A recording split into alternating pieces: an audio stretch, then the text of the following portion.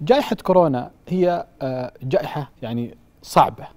وقوية لا أخفيك سرا والكل يدرك خطرها المملكة آه، جزء من منظومة هذا العالم واستطاعت بفضل الله سبحانه وتعالى أن تتصدم هذه أنها تت- أنها تتحمل هذه الصدمة الاقتصادية الكبيرة لكنها آه، في هذه المرة بالذات جعلت المواطن السعودي يتحمل جزء من هذه الصدمة من خلال آه، مضاعفة الضريبة المضافة من كيف يتعامل معها؟ وكيف يتعامل مع هذه القضية مم. بالإضافة إلى آه، التقنين في المصروفات تغيير استراتيجيتنا في العمل الحياتي الداخلي. كل هذه الأمور لابد أنك أنت كمواطن سعودي تشعر فيها وبالتالي حيكون يعني حتكون أنت شاعر مع الدولة ومع المؤسسين ومع القيادة في في في معالجة هذه الأزمة. اليوم لو قارنا بالتخوف ما قبل كورونا حتلاحظ أن المواطن السعودي اليوم صار مدرك وصار عارف مم. ال- ال- النتائج وعارف إيش وين إحنا ماشيين.